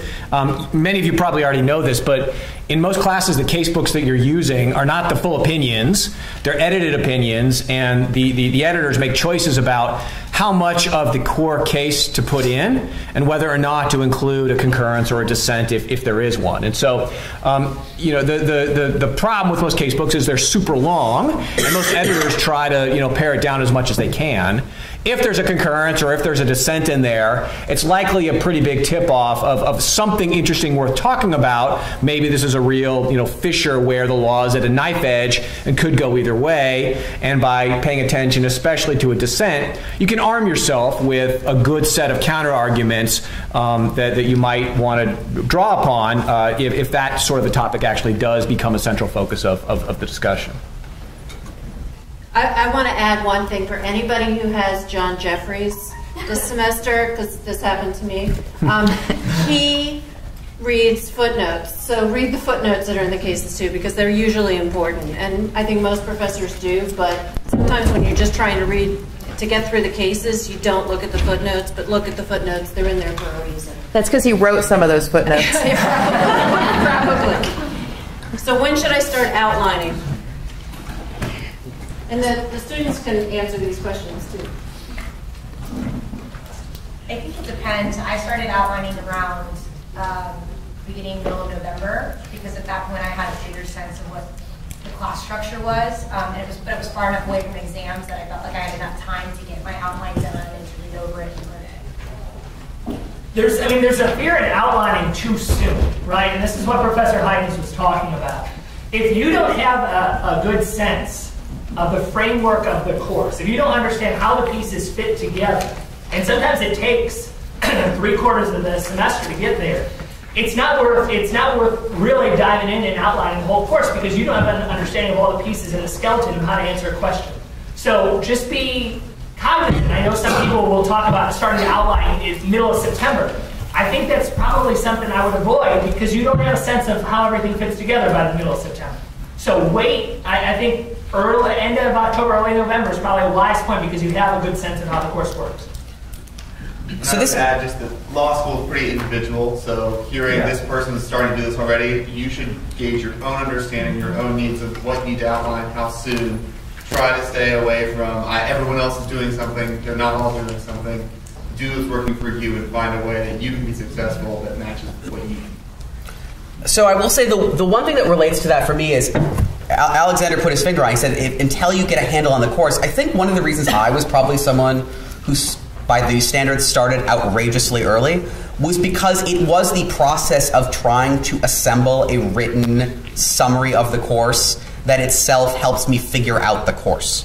Um, I at least I don't know. Uh, very, people do differ. One of the things I've learned about myself over the years is I have a very hard time thinking abstractly right? I have a very hard time thinking outside the context of applying. And so for me, one of the ways that I figure out whether I understand the material is that I try to summarize the material. And then when I try to summarize the material and realize that I don't know how to summarize part of the material, is the tip off for me that I don't understand part of the material or that I don't know how the parts of the material fit together. So, one of the things I will uh, certainly say about that is I would encourage you to view this as a process. Again, there's, you're going to hear this word over and over again. You are not going to turn in this document. This document is not going to get a grade. This document, if you create one, and I suspect most of you will this semester, has one and only one objective. It is the instrumental objective of preparing you to do well on an exam. That's it. So there was an instructor a number of years ago who told me if the process has been done correctly, you could be walking into the exam like an alligator could grab it and run away with it and like rip it up and throw it down a storm drain, and it doesn't matter because by the moment you're walking into the exam, its work is done. It has no further function to serve. Um, and so I think that's the, the real way to think about it. Like, so you start outlining too early, you've decided, some of you will probably do this, and you decide that you've done it all wrong. Then you should rewrite it that I mean, right? Like it's again, it's not a paper. You're not going to turn it in. You're not going to get a grade. The purpose of this is to help you, and so it's to figure out how to how, how to force yourself to work through the material so you get to the point where you understand it. I'd say. I mean, it's related a little bit, I think, to the way that many professors think about structuring the class. I mean, we all make decisions when we're sitting down to plan a course. Um, how, how are we going to structure this class, and how are we going to try to provide students with both, you know, the the, the the forest perspective and then the individual tree perspective. And so, you know, what you saw today in our case was an example of an individual tree looking pretty closely at something. Um, but many of us try to put a lot of thought into our syllabus and other things where you also have a little bit of a bigger forest picture.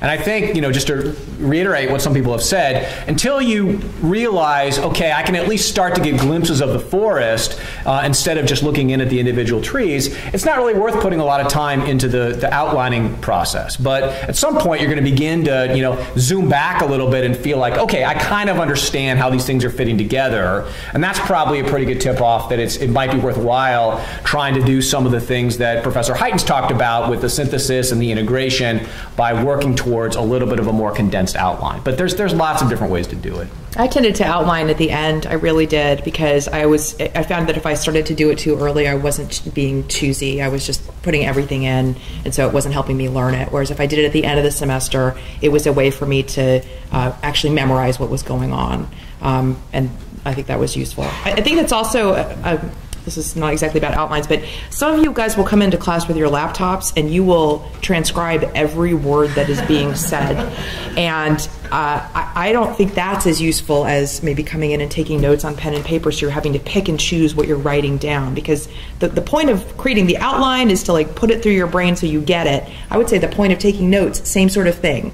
You're, you're supposed to be thinking about it and grappling with it so you can process it. If instead you're just like writing on your laptop, then you're just being a scribe and you're not actually thinking about it. So I think those are two kind of analogous things. If you're doing your outline too early, you're probably not actually grappling with it. You're just trying to put it all in, and that's not helping you learn it. So when, once you get to an exam, how should you use your outline? Once you're in the exam? You should not. I used to use it as a double check, but no, you're right. For, for most of my exams, I wasn't really using my outline. I had learned it by creating my outline. So the outline was to the side and I was answering the questions. But I'd sometimes flip through the outline. I'd make a table of contents for my outline. And so I'd scan my table of contents to think like, is there any issue that I forgot? You know, something that I should have talked about with this fact pattern that I missed. Um, so Yeah, I mean, I was going to say something similar. Is I usually advise my students um, once you've got your outline and now you're driving towards the final, you know, week or so of preparation for the exam, um, you might want to think about outlining your outline. Right? And just really condensing it down, whether it's a table of contents or whether it's something else. Um, some of you might have heard about something called an attack sheet or something like that, which I guess is, I think, a little bit similar. It's it's it's taking you know your synthesis of the course via the outline and taking it up to another level of synthesis, where in a very short, targeted manner, you can kind of go down through a series of questions or, or, or issues that you might ask yourself, so that when you run into a fact pattern, you actually can can can try to think about. Let me make sure I'm covering everything. Let me make sure I haven't forgotten something. Oh, wait a second, I forgot that there's this intoxication defense and contract law. Oh yeah, it looks like there might be a fact on this exam related to that. And so, you know, you might want to have a one or two pager that you can use to refer to quickly in the process of thinking about your answer to a test question. But beyond that, I really don't think you're going to have any time to, to refer to the outline. Yeah. Okay, When, when should I start studying for exams? Oh gosh. Not Tuesday. Well, I, I guess I, so. I, uh, this is perhaps I'm a little idiosyncratic on this. I, I don't really differentiate studying for exams between preparing for class and integrating my material for class. I don't think there's a sharp division between those two things um, because I think that doesn't really. Ref- I mean, there. So for me, the question is when should I start spending more time? I mean, except you're going to spend. That's weird. So it's probably the case that you'll spend. Look, you're starting law school. You're going to you're going to spend an outrageous amount of time for the first few weeks and then you're going to decide that's crazy and unsustainable and it's and you'll get better so it'll go down a little bit and then at some point it starts to go back up again right i mean I, it's more like the parabola of work or the inverse parabola Are there student perspectives on that? I think it depends a lot on the class. I mean, you know, for my, uh, like torts, for example, like it didn't require as much studying. It's just going over everything, creating that outline. The attack outline helped there a lot. For Civ Pro, it was every day memorizing these statutes for a closed book multiple choice exam. It just kind of depends on what you're doing and what the goal is. And, and so it, I guess the average person probably starts studying after PLA mid mid to early November is like the answer that students would give. But again, it's individual. It's what you're studying for. It's how well prepared you feel in that class. It's how many notes you have for that class. It's just it's multi-factor. Yeah, I mean, put it this way. I, I certainly wouldn't invest a lot of time now in worrying about that. I mean, you know, it, as I think Professor Shadle said, you, you, you get in there and you read a case like Lucy, and there's so much stuff going on, and you're just trying to figure out, you know, what matters and what doesn't matter. And I think that's the task for the first few weeks is just figuring out how to separate the wheat from the chaff. And eventually, right, you'll start to, you know, figure that out much quicker and be able to integrate the, the, the things.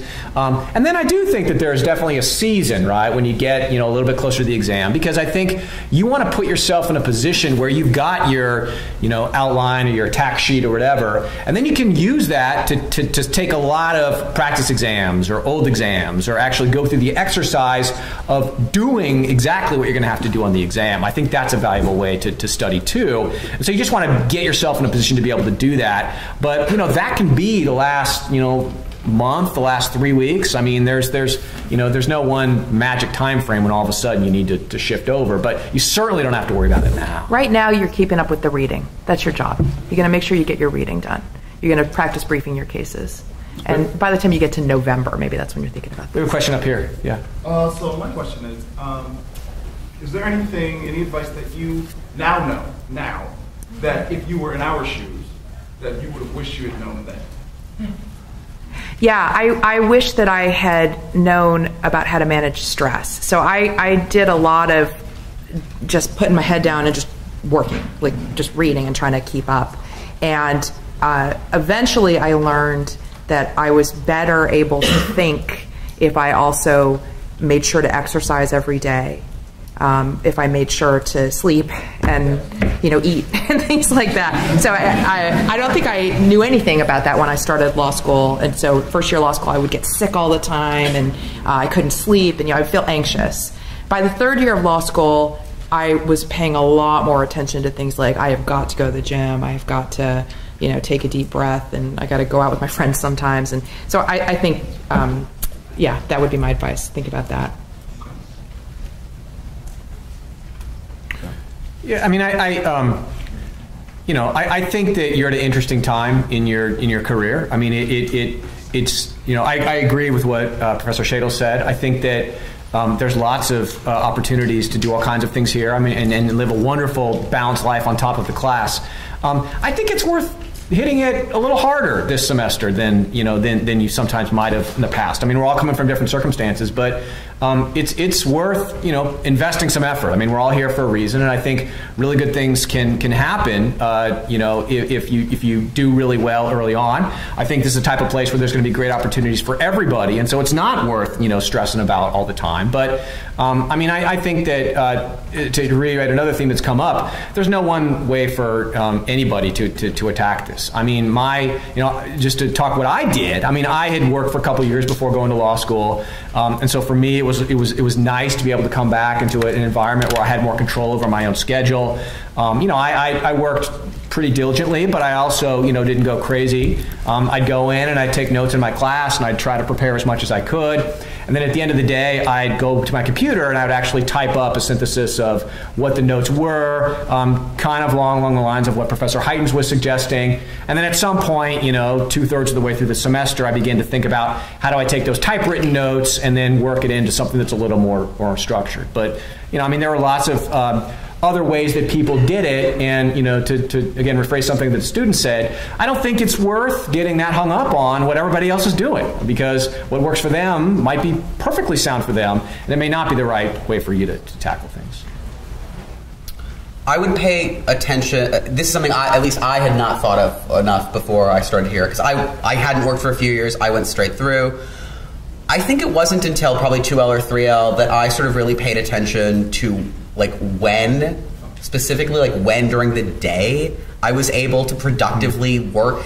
This is mentally taxing stuff you're going to be doing, right? This is mentally taxing reading and it's mentally taxing thinking. And again, in some sense, the only objective is to learn the material as well as you can in the short term instrumentally so you can do well in exams and in the long term so that you can actually know the material for your future lives as lawyers and uh, you know something i don't think i learned until my 2l or 3l year if i really want to tackle difficult material what I need to do is I need to get up first thing in the morning and I need to start working immediately. And I mean immediately. Like, don't shower, don't get dressed, go to your desk, start reading. Because I'm a world class procrastinator. And I will, if I let myself do anything other than get up and start reading, I will find a way to waste two hours of time. And the reason that that's bad is I've actually learned that my most mentally productive time of the day is about the first three and a half hours after I wake up. If I need to get done good, hard thinking, learning, it is the first three and a half hours when I wake up. I then have to take a break for about two hours because I'm mentally worthless between noon and two. Like I just can't mentally do anything between noon and two, and then I have a period of three or four hours where I can think again well until like five or six. And it's not that I, I don't do any work outside those times, but I, one of the things I've learned about myself, and I would encourage you to sort of pay attention to about yourself, my best thinking and my best learning happens between about 8 in the morning and about 11 in the morning, and it happens between 2 and 5 p.m. And so, if I'm needing to learn a lot of materials, I need to wall off those times and I need to use those times to be sort of thinking and learning. And if I, you know, again, you should. You should find other, you know, if I'm going to have lunch with a friend, if I'm going to go to the gym, I should go between noon and 2 because I am not going to get any useful thinking done between noon and 2. So I might as well not stare at my computer not learning anything, right? I should do I should do all the other things that I want to do with my life. I should then take a break between like 6 and 8 because I'm not going to learn anything between 6 and 8 and then I can work for a few hours between like 8 and 11 if I have a really busy day. But I think paying attention to that about yourself and not fighting that about yourself because the objective is to learn. And you can't learn without paying attention to how you learn the best and when you learn the best. I think I also I want to emphasize something that George alluded to, which is that uh, your first year ends up being significant. It's it's kind of a stupid stupid system, really. But after your first year of law school, you get these two semesters of grades, and then you do on grounds interviews. So you guys may have seen some of the students walking around in their suits. So they're interviewing for their jobs that will happen after the second year of law school. And that ends up being this really important summer job that could maybe turn into your permanent job. And you're doing those interviews based on two semesters of grades, just your first year. Um, it doesn't mean if your first year doesn't go well that it's the end of the world. It really doesn't. People can turn this around. But it does mean that if you are ever going to pay attention to your grades, it's the first year that ends up being important. And so I would be thinking about, I can remember signing up for activities my first year that were really time consuming and that was a mistake. um, that it, it's better to sign up for activities that are fun and that are going to, you know, connect with people that you like. But I was doing like the court appointed special advocate kind of stuff, which was an enormous time commitment and is kind of not appropriate for a 1L. It would be better for somebody who's later in their career where it's not as significant. So I would say like prioritizing studying for this first year will pay off for you uh, in a significant way if you if it doesn't you know if things if your grades aren't what you want them to be it is, the world is not over like it is it is possible to turn around many many people do. But i would say first year pay attention to it